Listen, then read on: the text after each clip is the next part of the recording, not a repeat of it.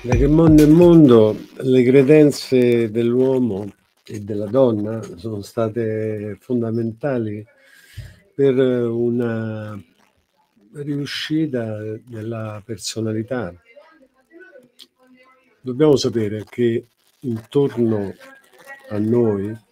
abbiamo un spazio vitale che si aggira su un, metro